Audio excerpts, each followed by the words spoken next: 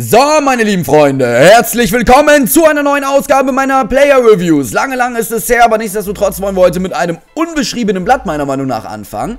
Denn der liebe Richie aus der FL Championship geht meiner Meinung nach enorm gegenüber den anderen Spielern aus dem Team of the Season unter. Beispielsweise einen Gardner, beispielsweise einen Wilson und äh, ja, meinetwegen auch noch einem Ethope oder sonst was. Er geht einfach enorm unter, rein von den Werten her. So, die Preise seht ihr ungefähr unten. Natürlich muss das bei der PlayStation 3, PlayStation 4 heißen.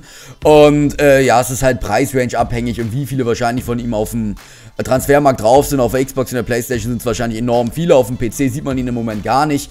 Aber ich habe die Preise jetzt einfach grob eingetragen. Die Preisrange ist auf jeden Fall 40 bis 120k jeweils. Das kommt ungefähr hin. So, was zeichnet diesen Richie aus? Der 3 Sterne Skills ist okay.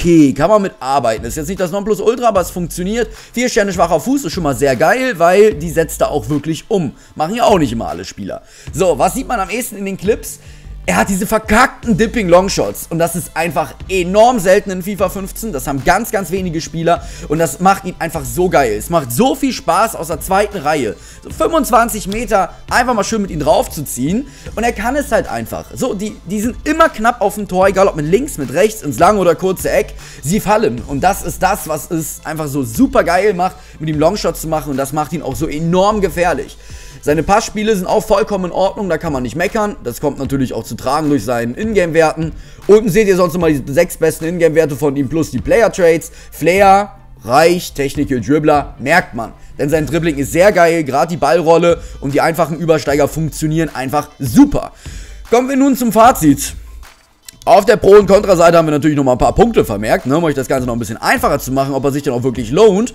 Also, ausreichendes Tempo plus guter Antritt. Man darf hier jetzt keine Pace-Fuhre oder dergleichen erwarten. Es ist halt einfach wirklich so, dass er ähm, solide läuft, er ist relativ schnell, er hat einen guten Antritt, aber das war's, nicht schneller. Also 81 setzt er ganz gut um, was auf seiner Karte draufsteht. Starke Balance und Beweglichkeit, das kommt natürlich seinen Ingame-Werten zu lasten. Das sind die einzigen Dinge, die wirklich enorm herausragen, wo man sich so denkt, hey, okay, gut, mit dem kann man wahrscheinlich einfach von der Hand aus dribbeln.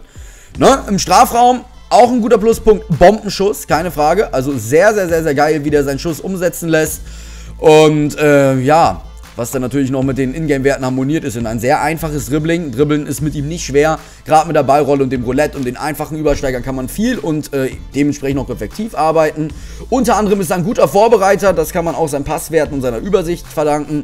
Also er funktioniert, wie schon gesagt, als rechter Flügelspieler als auch als rechter Mittelfeldspieler. Kommt immer auf den Spielstil an.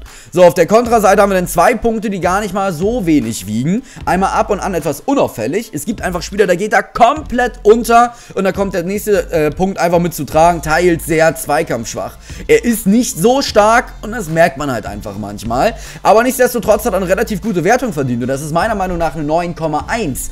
Wenn man bedenkt, wie er spielt und wie viel der nette Herr letztendlich kostet. Das ist ein Silberspieler mit soliden Werten, der einiges kann. Er ist einfach zu verlinken und es macht einfach mega Spaß mit ihm zu spielen, weil jedes Mal, wenn man einen Longshot macht und man weiß, dass es knapp wird, geht er mal rein, mal nicht wenn er drin ist, freut man sich. Und auch so im 16er ist der Teil jetzt einfach sehr, sehr eiskalt beim äh, Abschluss und sehr trocken. Das ist einfach wirklich nur eine Bereicherung fürs Team, sofern man mit ihm spielen kann. Ich wünsche euch noch einen viel, äh, schönen Tag und viel Spaß mit der Karte, wenn ihr ihn euch kauft. Wir sehen uns das nächste Mal wieder. Euer Hahn.